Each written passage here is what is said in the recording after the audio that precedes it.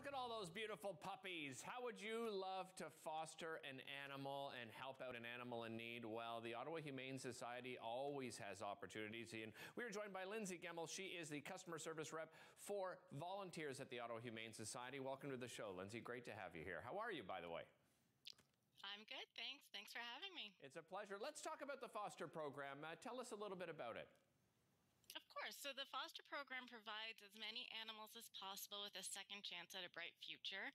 Uh, foster volunteers provide a nurturing home outside of the shelter environment to help encourage normal growth and development, as well as re- recovery from certain illnesses, surgeries, and sometimes behavior modification and training. How many animals in, in foster care at, at the moment, or need, I should say, need foster care at the moment, Lindsey? Currently, we have about 40 on our list waiting for a foster placement. Um, we typically have about 100 to 300 animals in foster care at any time. Uh, for volunteers, what sort of support does the Ottawa Humane Society offer? We provide all of the training. We provide training. We provide all of the uh, food, any medical treatment, vet care, um, any supplies needed. We provide all of that, as well as ongoing support and encouragement throughout the process with the foster volunteers. Yeah, and how long could a foster volunteer, um, you know, expect to have their their animal in their care? The placements can vary. It really depends on the case. Some of the foster animals in the placements only last for a few weeks, so while they're waiting for their forever home, some of them can last into months if they're recovering from surgeries or any treatments. What, what sort of animals are, are available for foster homes? Um, currently, our greatest need is for adult cats as well as um, rabbits. We have a lot of rabbits looking for homes or dogs requiring some more behavior modification. Um, as far as volunteer goes, uh, I would imagine the pandemic has had um, an impact on that. What sort of impact have you seen at the Ottawa Humane Society? So we chose to really, we're trying to get more animals out into foster placement, you know, have less in the shelter, have more going and staying in a, a comfortable home, take placements to the next level that way. Um, you, you, mentioned, you know, uh, animals come in for different reasons into the Ottawa Humane Society. Have you seen animals coming in during the pandemic simply because some families, you know, ended up getting a pet, and as we start rolling out of the pandemic, they realize that maybe they don't have enough time? Has there been any impact as far as that's concerned? No, it's actually something we haven't seen at this time. Um, let's talk about you know the Ottawa Humane Society in general. You know, funding is very important to you at the Ottawa Humane Society.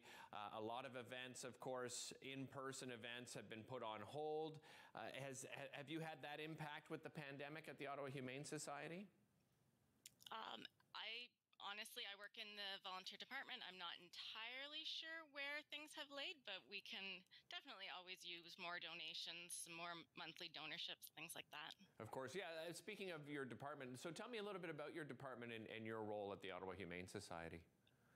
So, my role as the volunteers CSR is recruitment, onboarding of volunteers. I provide some of the training and help support volunteers on that level. And what, what criteria is involved in becoming a volunteer? Um, it, it really does depend on the program. Right now, as we're recruiting for foster volunteers, we're looking for foster volunteers who are able to, you know, make the trips to and from the shelter with their animals, you know, have a space in their home for them, especially if it's a cat, a space where they can isolate the cat from other animals in the home.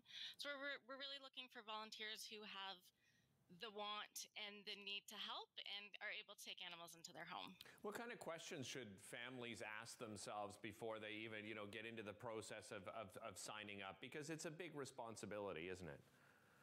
it? It is a big responsibility. And as, as I mentioned, we do provide this training. I think families need to make sure they're ready, um, comfortable with the idea that you know they will be bringing that animal back for the animal to find their forever home.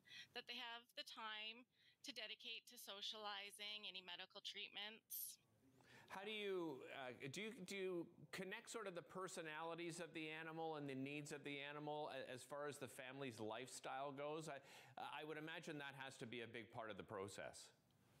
We do try and match our active foster volunteers with the animal, you know, make sure that their home has the right match. You know, some of our foster dogs or cats may not get along with other animals or don't want them in the home, so we'd want to match things like that. Some are good around children, others aren't, so we do try and you know, keep an eye out for those things to the best of what we know about the animal in the shelter. I imagine signing up, uh, the website is the best place to go for people to sign up and find out more information. Yes. OttawaHumane.ca slash foster. From there, there's more on the foster program, and they can submit an application directly online. Excellent. Uh, thank you so much for joining us today on Daytime Ottawa. I really appreciate the time, and, uh, and good luck in finding uh, foster homes for all those fabulous animals in need. Thank you. All right, coming up after the break here on Daytime Ottawa, we're going to be talking about composting, those green bins. I know so many people are frustrated. They they don't like the smell, they don't like, you know, having to do it themselves, but maybe there's an alternative. We'll talk about that right after this.